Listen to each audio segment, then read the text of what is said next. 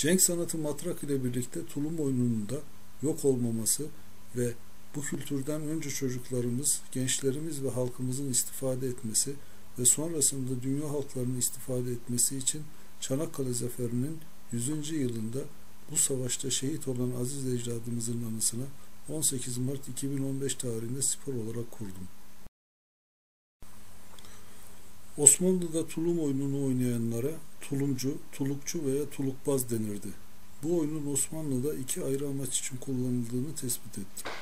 Birinci amaç Osmanlı'da meydanlarda halka açık olarak yapılan padişahın ve ileri gelenlerin seyrettiği şenlik, düğün ve gösterilerde gösteri yapan sanatçıların, esnafın kalabalığın müdahalelerine maruz kalmadan gösterilerini yapmaları için güvenliğin sağlanması maksatlı kullanılmasıdır.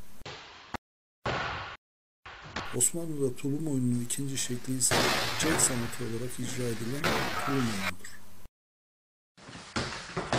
Bu oyunun benzeri Anadolu'da halen derici esnafı tarafından halk oyunu olarak yapılmakta olup özellikle Niğde'nin Bor ilçesinde varlığının sürdürülmesi için gayret gösterilmektedir. Fakat spor kural ve kaidelerinden uzak olduğu için sesini geniş kitlelere duyuramamaktadır. Borda yapılan tuluk oyununda amaç oyuncuların tulumları birbirine çarptırması üzerinedir.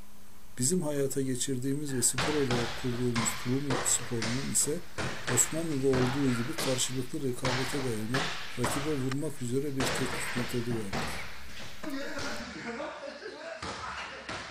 Oyunu diğer taraftan yastık dövüşü adıyla zaman zaman televizyon ekranlarında filmlerde gördüğümüz hareketlere benzese de yastıkla dövüşen kişilerin genel amacı kılıç talimi yapmak olmayıp yastığın içindeki tüyleri dökülene kadar devam eden eğlence maksatlı bir süreçtir.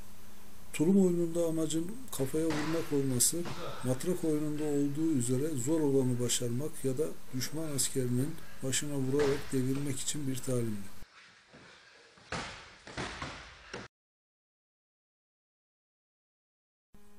Kültürümüzü korumak ve yüceltmek adına unutulmuş sanatlarımızı sporlaştırarak geleceğe taşıma gayretimiz ile matrak, tomak, cenk, mızrak, hançer, Türk kılıcı, yatağın kılıcı ve Osmanlı kılıcı sanatlarımızın teknikleri ve son olarak tulum oyununda kültürümüze kazandırdım.